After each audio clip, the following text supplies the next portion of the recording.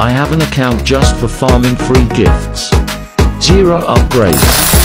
Zero eggs hatched. Never broken any coins. I hope the second pet will be a huge cupcake. Getting rich without doing a thing. For giveaway see pinned comment.